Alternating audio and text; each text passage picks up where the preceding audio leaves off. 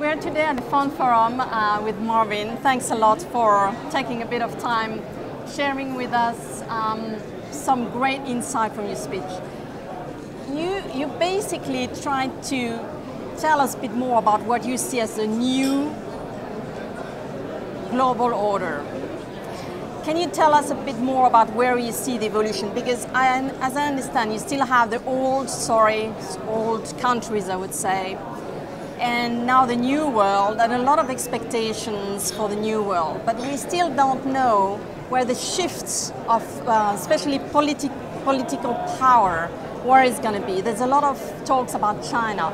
Tell us a bit more where you see that game for the moment. Well, that's for sure is that there's expectations that, for example, China mm-hmm. will become the new global powerhouse. And my own sense is that there are so many impediments operating in China okay. that it will be a very long time before it gets there. So for the time being, it's going to be the present powerful countries okay. that remain powerful. All right. Because you, you mentioned something interesting. You said that 40% of the smart guys in China, most of them leave to the US, I would say preferred area. So it's interesting to see that despite the maybe economic power that China has and will have, and the size as well to maybe give them a chance to dominate the right. world, despite that, the brain is more in the US in all countries. It's a very sad story because the most successful people in China are the ones who really most want to leave. And so, how can that country continue to flourish mm. if smart people go? We teach at the University of Chicago yep. large numbers of young Chinese, Chinese men and women yeah. At the business school.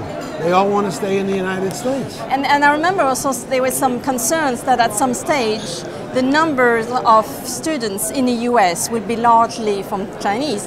And what will be the next generation of the US politicians? The next generation, yeah. Chinese. Chinese. I tell you something, the next generation has already begun to be Indians. Amazing. Huge number of students come from India, stay in the United States. So, for example, the governor of Louisiana in the United States is now in India. Wow. And they are rapidly rising up. Definitely. Well, that's, that's interesting. Now, a lot have been said about politics, but we are here at FundForum, and all these guys, basically their business is about investing or making the investors investing. So there's a lot of question mark where, where to invest. Where is the next El Dorado? Uh, what can bring additional returns?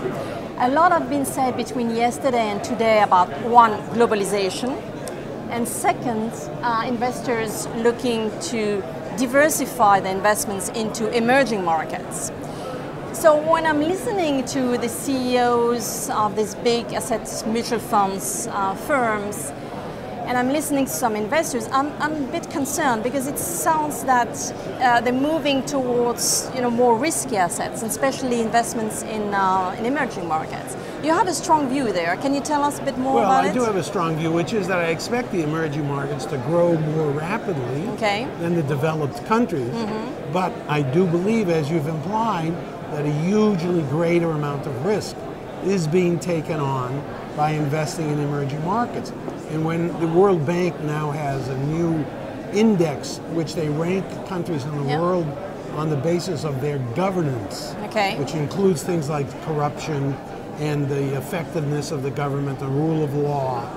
And the emerging markets tend to be very low on those qualities, which are the very qualities that reduce risk. Okay. So there's no question that for the expected higher returns, returns huge amount greater risk. risk is being taken. Or you have really to clearly identify the risk and make sure that it's well addressed at the right level. Right, and that can be done. Okay. Um, you also talked about the Middle East, a lot of things going on politically, very interesting.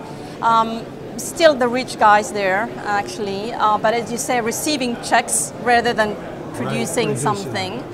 Um, how do you see between, I would say, the old countries? Where do you see Middle East on the new order in the news on the on the uh, new economies?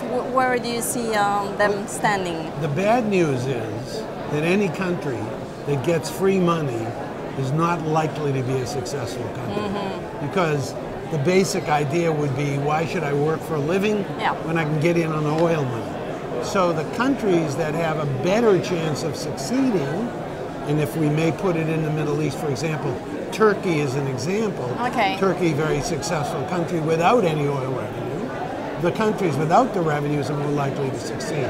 So the great hope has always been Egypt Okay. because Egypt doesn't have those revenues, but under the stultifying dictatorship of Mubarak, Mubarak, yeah. never got anywhere. And the question is now, will they have a different stultifying dictatorship, or they really are going to open that economy to people, society, and politics? Well, as you can see, there's still a, a lot of questions, and we could really spend the whole day with Marvin just questioning where the opportunities will be. Um, thanks again for your time. Really appreciate it. Thank you.